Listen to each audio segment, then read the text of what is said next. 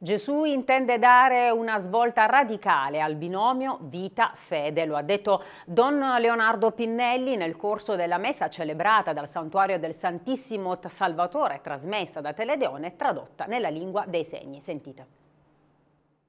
Dio scende e vuole incontrare l'uomo.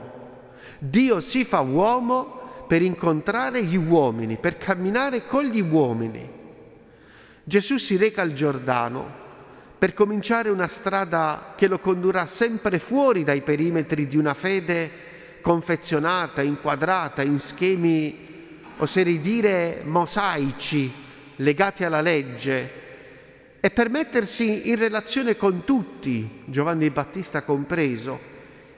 E Gesù vuole dare una svolta radicale al binomio vita-fede.